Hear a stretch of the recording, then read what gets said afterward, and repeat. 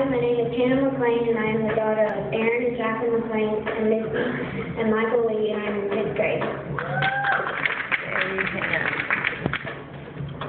in fifth grade. Hi.